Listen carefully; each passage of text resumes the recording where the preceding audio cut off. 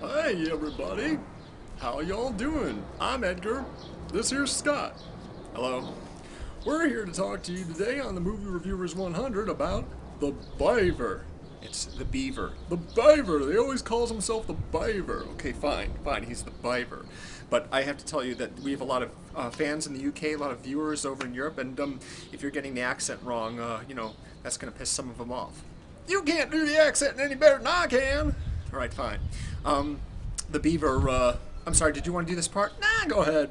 Um, the Beaver uh, is a film directed by uh, Jodie Foster. It stars Mel Gibson and herself uh, as uh, a married couple, and um, Walter uh, Walter Black. He's the main character. He is uh, suffering from a lot of emotional problems. Yeah, he's a mess, ain't he? Uh, yeah, that's right. Um, he uh, is the head of basically a toy company, and um, uh, things aren't going so well. Profits are down. He's always depressed uh, no matter what. And uh, so uh, when he moves out one night, um, he basically adopts a puppet as his personal guardian. Yeah, that's right. We figure he's got DID or something. Um, and what's DID again? It's called dissociated identity disorder. I saw that on One Life to Live. Oh, okay, great.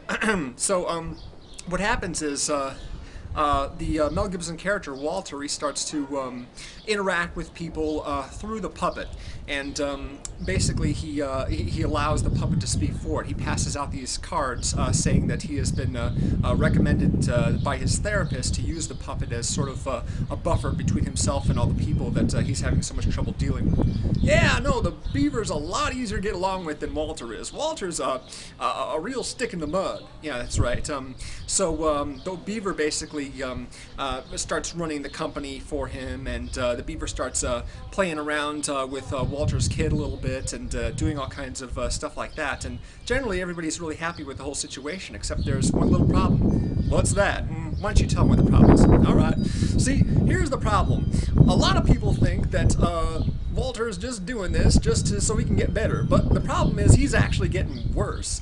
Now, in the beginning, when you see him pass out the little card saying that he's been recommended by his therapist to use the puppet and to have people interact with the puppet, we know this ain't the case because Walter did not get his puppet from his therapist, and his therapist does not advise him to buy a puppet. Instead, he got the puppet out of a dumpster, and then that night the puppet just starts talking to him. Yeah, that's right. And and although you can see Mel Gibson clearly, you know, doing the voice of the puppet, I mean, they made no, no attempt to uh, hide uh, the fact that he is, uh, you know, vocalizing for the uh, puppet. Um, he still treats it as, as another person. Everyone is supposed to treat the, the puppet as another person. In fact, it says specifically on the cards that he passes out to everyone, address the puppet and not Walter. Yeah, that's right. See, what's happening here is that the puppet is actually a manifestation of his uh, psychological disorder. It is uh, developing uh, alternate personality, kind of like multiple personality disorder, except it is just the beaver puppet uh, that is talking. Uh, the beaver basically is using Mel Gibson's voice uh, to, to, interact with people, and he's even using his body as well, because when Mel Gibson goes to bed with Jodie Foster, it's actually the beaver that's uh, having sex with his wife rather than uh, him. That's crazy, man. That's really crazy. Yeah, that's right. Um, uh, Walter is not getting better at all. Eh, you know, the marketing is really making this look like a, uh, you know, sort of a feel-good movie, but actually it's scary. At one point, the beaver actually catches uh, Mel Gibson trying to sneak a phone call to his wife. Oh yeah, I remember that part. Yeah, uh, and and the beaver gets really mad at him, says, "What are you doing?" And they get into a fight. Yeah, it's it's a pretty tense situation. Um, and uh, the Jodie Foster character's wife, she doesn't know what to do about it. Yeah, that's right. She's all real happy and stuff because he's he's relating to their child, and everything like that, doing stuff with them, building things, all kinds of great stuff, and she thinks it's the best thing in the world. But unfortunately, she doesn't realize that the beaver is the one that is talking to them and not Walter. Walter's just in the background.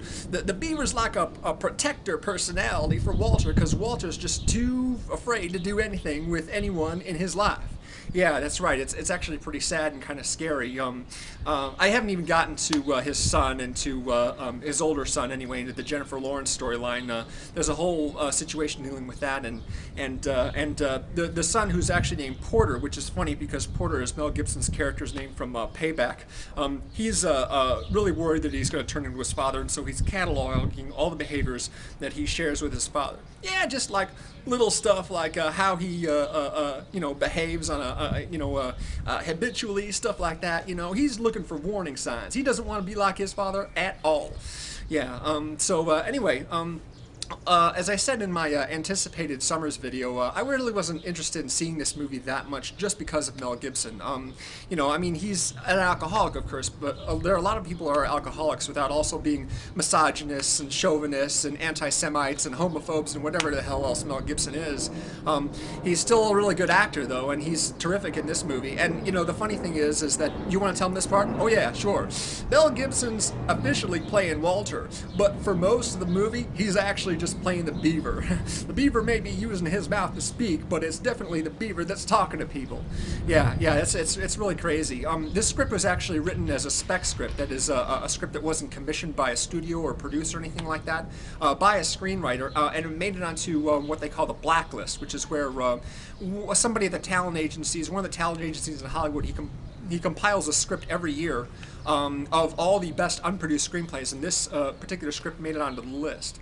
Yeah, yeah, it's it, it's a good one, all right, and and it's it's uh, kind of scary and weird, but it also has its good stuff as well, you know. And and the fact that it's weird and scary doesn't make it a bad film, of course. It's an awfully good film, actually. Yeah. See, I I was really torn on whether or not to see this movie just because of Mel Gibson, but you know, and on the other hand, you've got Jodie Foster. She's you know obviously a very good friend of. Uh, Mel's, and uh, you know they have been good friends ever since they were in Maverick back in '94. And um, and uh, you know I was sort of torn between not wanting to support anything that he does, but really wanting to support Jodie Foster because she's amazing. Yeah, she's great, isn't she? She's an awesome actress, and she's really good in this movie too. Yeah, all the acting is really good, and um, and I gotta say uh, Jodie Foster's visual style has really evolved a lot. She hasn't actually directed a movie since 1995, and uh, her her the look of the film is a lot more stylish than the uh, films that she made in the 90s. It's a good one, all right. I wasn't expecting that at all. No, I, I, wasn't expecting to be that good either. You know, I mean, I was expecting my, you know, personal opinion of Mel Gibson to really overwhelm uh, any opinions I had on the uh, film, but uh, for the most part, I kind of forgot about it. Probably because it isn't really Mel Gibson talking; it's more the puppet that's talking, and uh, in this Cockney accent. You do the accent? No, I can't do the accent. And the Biver, you know, I mean, I just it, it sounds a little uh, weird when I do it. No, I can't do it either. What do you think my accent? Uh, it's it's okay. It's all right. I'm not sure it's authentic, but uh, it's fun and everything. Yeah, that's right. So, like I said, I'm Edgar. We're talking about the beaver, which is about a guy named Walter. Ain't that funny how that works out? Yeah, yeah, that's great. That, that's uh, terrific. Um, so uh, yeah, this is uh, our review of um, the Beaver, and uh, we hope you enjoyed it. Um, I don't know if this has come out in the UK yet, but it's just came out uh, last uh, last Friday here in the States. And um, since I'm on a new schedule now, I, I don't have weekends off anymore. I have it on the weekday.